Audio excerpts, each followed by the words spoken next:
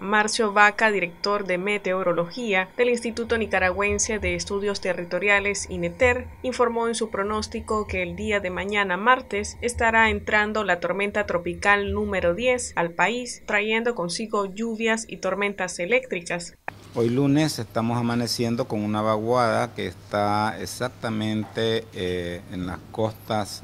del Caribe Norte de Nicaragua y se extiende hasta una baja que está localizada en Colombia. Esto hoy lunes pues va a estar ocasionando seguramente dentro de algunas horas que comience ya la nubosidad a penetrar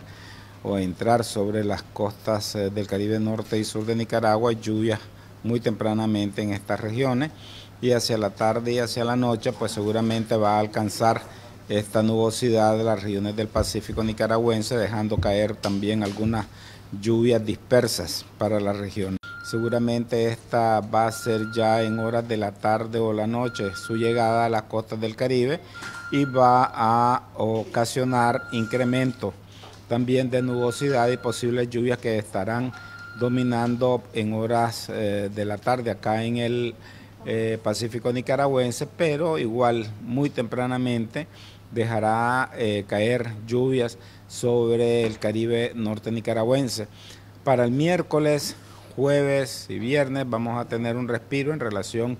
a las ondas tropicales, puesto que la número 11 viene todavía muy, muy lejana. Asimismo, el experto recomendó a la población tener precaución por posibles fuertes corrientes. Para Noticias 12, Gloria Campos.